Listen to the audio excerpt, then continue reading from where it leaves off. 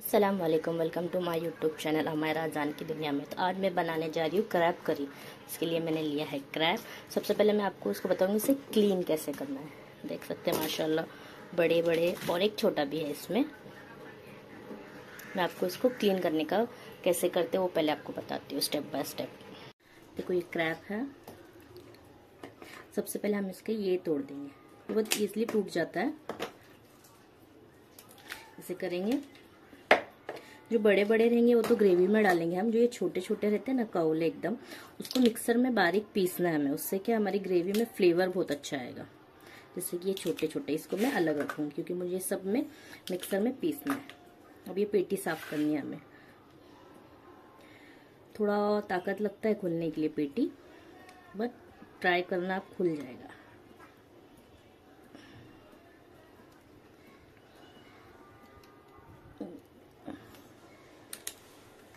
ये देखिए, खुल गया। ये सब गंदा रहता है, ये सब फेंक देना है हमें।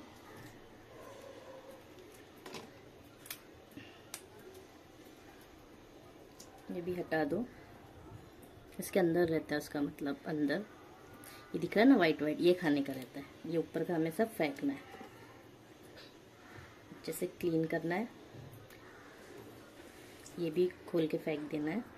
ये देखिए आप, ये हो गया अच्छे से क्लीन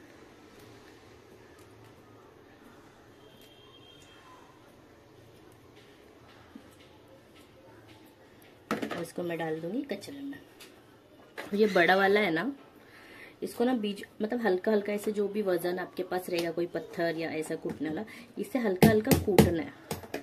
मतलब एकदम तोड़ना नहीं है, एकदम हल्का हल्का। क्योंकि जब ये ग्रेवी में पकेगा ना तो इसके अंदर सब मसाले चले जाएँगे।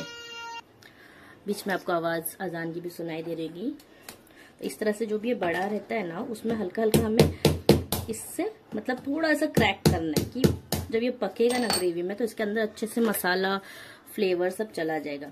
और जो इसके ऐसे नेल्स होते हैं ना, इसको भी तोड़ के फेंक देना है। तो मैं आपको और एक साफ़ करके बताती हूँ। ये देखिए।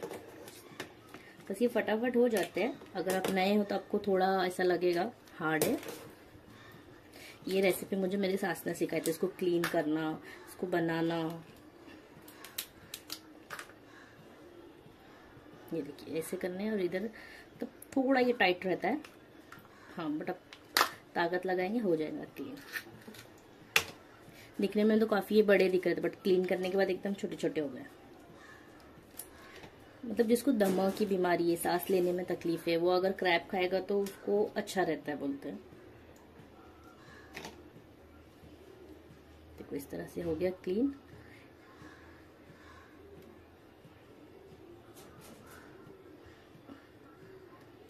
एक बार सब चेक कर लेना चाहिए, अंदर कुछ है तो नहीं कचरा।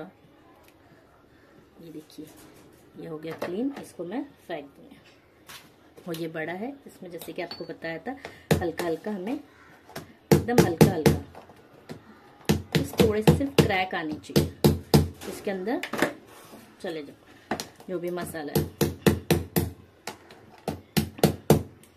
ये देखिए, मैंने दो साफ़ कर दिए, इस तरह से मैं सारे साफ़ कर दूँगी।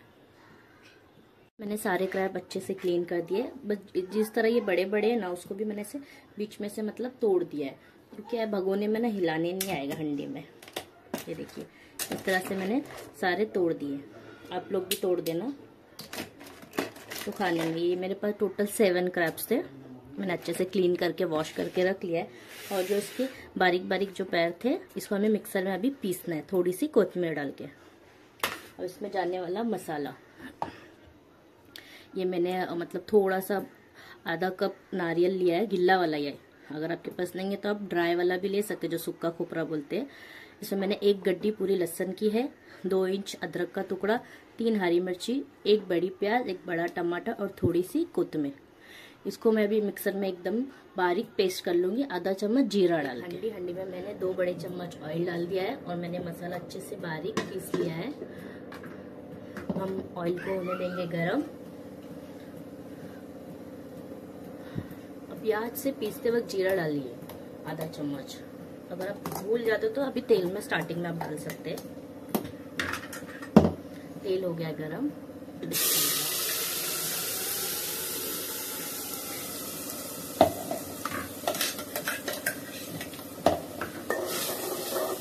मसालों को हम अच्छे से भूनेंगे एक दो मिनट।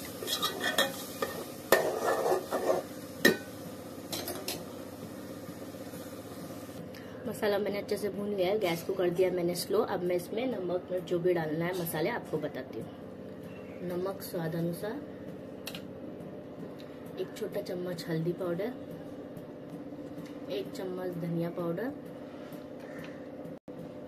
एक चम्मच मिर्ची पाउडर, क्योंकि हमने पीसते वक्त भी इसमें तीन हरी मिर्ची डाला है। अब इन सबको हम कर लेंगे अच्छे से मिक्स। इसको हमें अच्छे से भूनना है। वो मिक्सर के बर्तन में मैंने मसाला पीसा था। उसमें मैंने आधा ग्लास पानी डाल के अच्छे से इसको क्लीन करके इसमें डाल दूँगी। गैस को करूँगी मैं फास्ट और मसाला मैं अच्छे से पकने दूँगी। इसमें और कोई मसाला नहीं जाएगा क्योंकि क्रैप का अपना ही फ्लेवर रहता है। अगर हम मसाले ज़्यादा डालेंगे तो इसका फ्लेवर खत्म हो जाएगा। मैं इसको ढक के कम से कम पाँच से छह मिनट अच्छे से पकने दूँगी। जब तक जो मैंने आपको बताए थे ये उसके बचे हुए पैर, उसको अच्छे से मिक्सर में डाल के, पानी डाल के एकदम बारीक पेस्ट करना है, उसके बाद उसे छानना है। वो मैं आपको बताती हूँ अभी। ये मैंने अच्छे से पीस दिया जो क्रैब के पैर थे। उसमें ना मुझे कुछ बड़े लगे इस तरह से तो ये मैंने निकाल दिया ग्रेवी में डाल दूँगी मैं, जो एकदम बारीक बारीक थे वो मैंने अब इसको छन्नी की मदद से उसको अच्छे से हमें छान लेना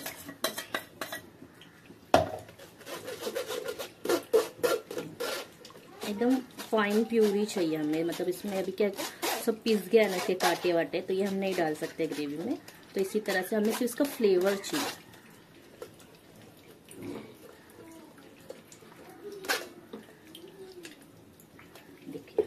आ गया ना।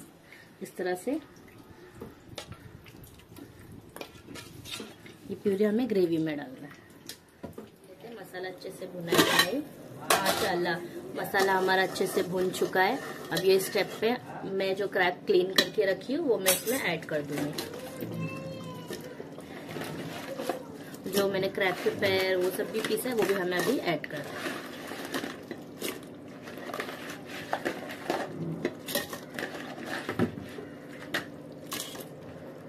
देखिए, जो उसके पैर पीसे थे, हमने कोतमीर डाल के ये भी इसमें डाल देंगे।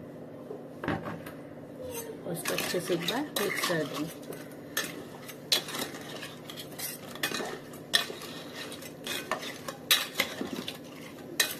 अब मैं इसमें पानी डालूँगी। डेढ़ गिलास में इसमें पानी डालने वाली हूँ। आप अपने मतलब अगर इतना ही चाहिए गाढ़ा तो आप रख सकते हैं। अगर कम पानी चाहिए तो इसमें कम पानी डालें बस उस हिसाब से नमक, मिर्ची आप टेस्ट कर लेना कैसा है।